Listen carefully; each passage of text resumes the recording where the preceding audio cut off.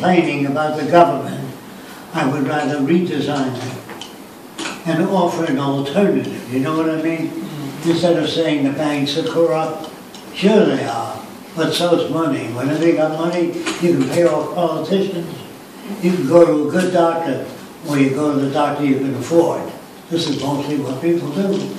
They don't have any choice.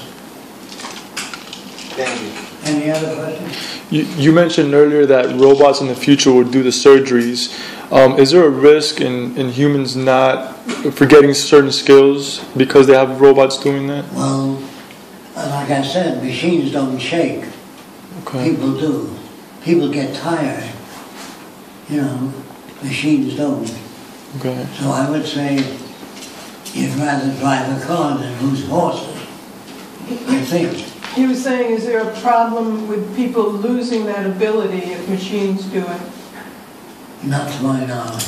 It's when they keep practicing and they think that a machine will never replace me. They're talking through their hat. They don't understand. It's only, the only thing machines don't do is what they tell you they do in the system.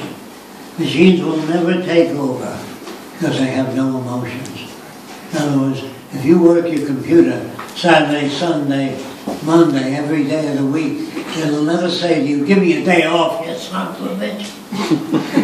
Right now. You'll never get mad. And a machine doesn't look at you driving a car and say, I wish I had a car. Machines don't think like that. They only do what they're programmed to do.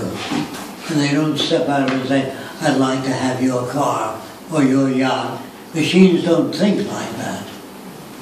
Now, if we made machines to think like that, we can make facial expressions on a machine. So it says, oh my God, you must have had a very rough life. But it looked like it's sincere, but so is this, these drawings. They're drawings and people cry over the rabbit getting caught by a bear. And there's no feeling in machines, like a movie actor acting a part of it. Machines do not feel. They don't feel, gee, you got a nice car. I wish I had one. They don't have that type of reaction. Do you understand that? Hmm. No machine ever said, I'm going to get rid of you, you son of a bitch. You broke my other machine. If you smash a brand new computer in front of 25 brand new ones, they don't say, we'll get you. If it isn't this week or next week, we'll get you. They don't feel. Do you understand that? So don't worry about machines taking over. They never did.